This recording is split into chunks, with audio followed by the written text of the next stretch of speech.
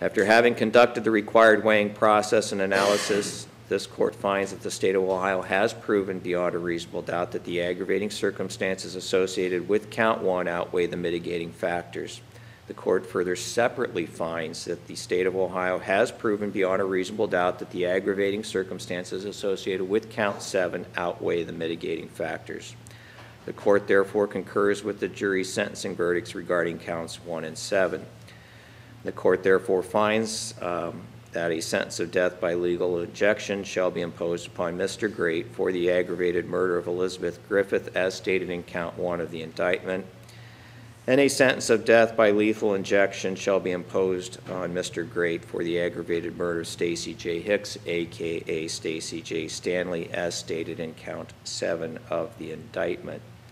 Court further orders that each of the death penalties be carried out by appropriate authorities on September 13, 2018, which would be the two-year anniversary of uh, Mr. Grate's discovery.